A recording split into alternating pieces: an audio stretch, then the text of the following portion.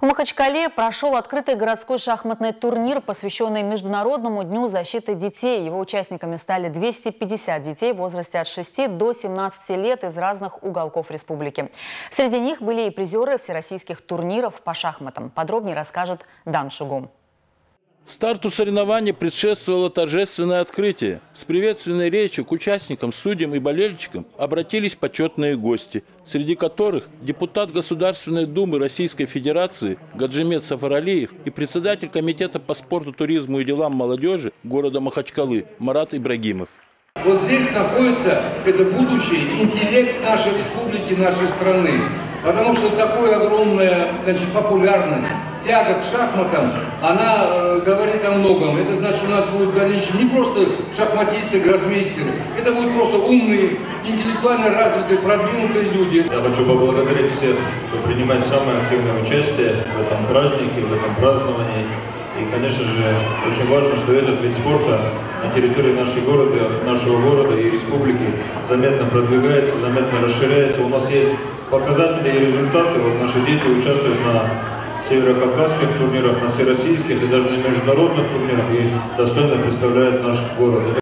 Идею проведения таких массовых состязаний помогли воплотить энтузиасты и любители шахмат. Собрали они более 250 юных участников из различных городов и районов республики. А главное, турнир вызвал большой интерес у тренеров и специалистов. Эта идея принадлежит нашему э, новому президенту э, городской шахматной федерации Гасан Гусейнову Гасан Гусейну. Когда мы в марте его выбор, выбрали президентом э, на съезде шахматистов города Махачкалы, он озвучил идею, что вот в этом банкетном зале в период месяца Рамадан посвятить мероприятие детское провести в честь Дня защиты детей. И мы сразу, засучив рукава, уже в марте взялись за подготовку и организацию этого турнира. В соревнованиях участвовали опытные шахматисты. Это победители и призеры Пенса СКФО Дагестана и те, кто делает первые шаги на черно-белых досках. Так, этот турнир стал дебютом для шестилетнего Руслана Юсупова. Я люблю играть белыми фигурами, потому что они первые ходят. Я готовлюсь к турниру и хочу победить.